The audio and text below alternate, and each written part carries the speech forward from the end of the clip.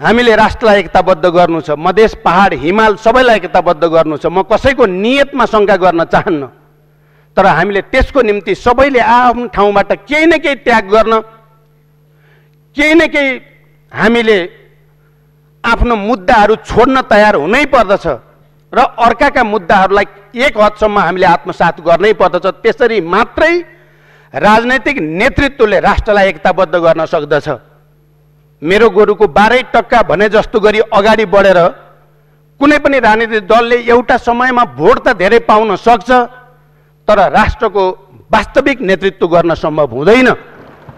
त्यसकारण राष्ट्रिय एकताको निम्ति त्याग जरुरी छ। राष्ट्रिय एकताको निम्ति केही न केही लचकता जरुरी छ।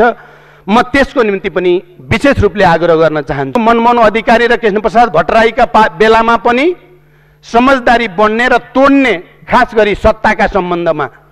नेतृत्वको सम्बन्धमा जुन नकारात्मक प्रवृत्ति र उदाहरणहरू प्रशस्त देखिँदै आए र पछिल्लो चरण हामीले नै पनि त्यो भोग्यौँ मैले यो स्थितिको अन्त्य हुनुपर्दछ र त्यो कामको सुरुवात पनि मैले गर्ने मलाई अवसर प्राप्त भयो। मैले त्यो चाहिँ स्थिति कायम गर्नुपर्छ भनेर मैले राजीनामा दिएको छु। र यो राजीनामाले पक्कै पनि एउटा नयाँ राजनीतिक संस्कारको विकास हुनेछ। अहिले हुन त प्रतिपक्षी दलको नेताले इमानको कुरा गर्नुभयो। मलाई लाग्छ इमान मुखले भनेर भन्दा व्यवहारमा स्थापित गरेर अगाडि आउने कुरा हो। संस्कार भन्ने कुरा त्यसरी मात्रै स्थापित हुने कुरा हो।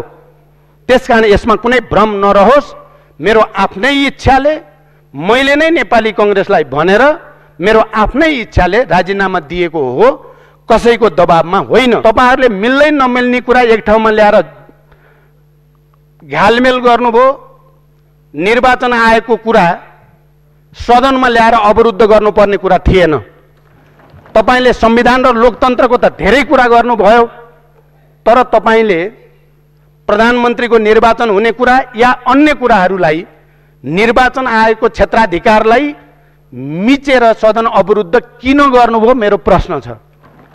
तपाईँले कति दिन गरेर के प्राप्त गर्नुहुन्थ्यो यो पनि मेरो प्रश्न छ। महाभियोगको प्रस्तावको सन्दर्भमा पनि हामीले यसलाई फिर्ता लिने कुरा धेरै अगाडि गरेकै थियौँ।